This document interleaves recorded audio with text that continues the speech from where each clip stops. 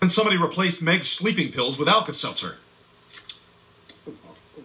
People are gonna miss me when I'm.